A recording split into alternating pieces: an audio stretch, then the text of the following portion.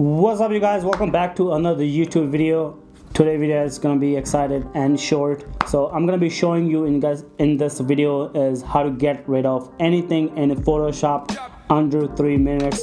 So let's get into it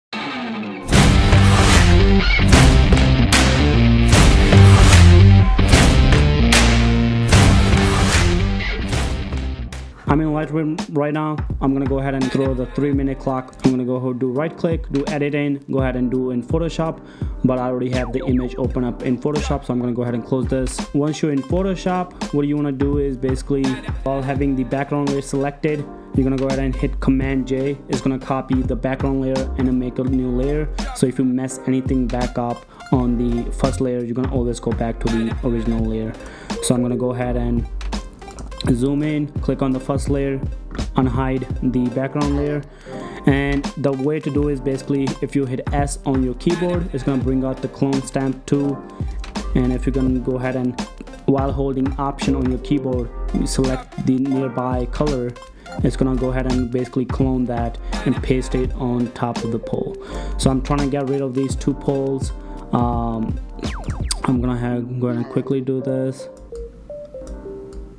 and I'm trying to do this under three minutes um, and then I'm also gonna so the way to get rid of this big pole is basically using a patch tool. It's a similar to the clone tool but it does a little bit better job of matching the colors. So the Photoshop um, has automatic system that does that does um, its best to match the colors around the uh, around the pixel. So I'm gonna go ahead and hit J on the keyboard which is gonna which is gonna bring out a patch tool.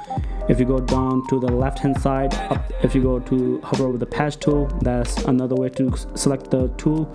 I'm gonna go ahead and select it select this really quickly and go ahead and drag it nearby until the pole is all gone. Let go of the click hit command D to deselect the marching ants and as you can see it does a really good job but you want to go ahead and also get rid of this. So I'm gonna go ahead and bring back the clone tool which is command uh, which is uh, um, uh, keyboard shortcut is S.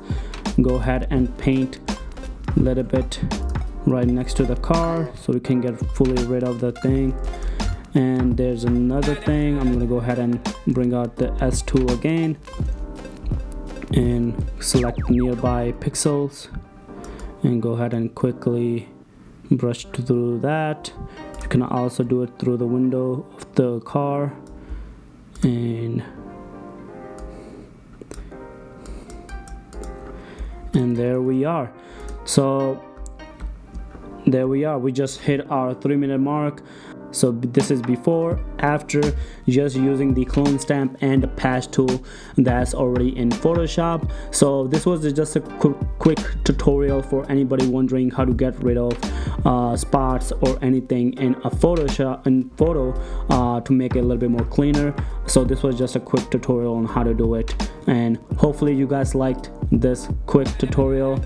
Um, I'm hoping to make more of these so you don't have to sit through a 20 minute video of me just rambling and going through all the tools. So hopefully you guys like this and see you guys in the next video.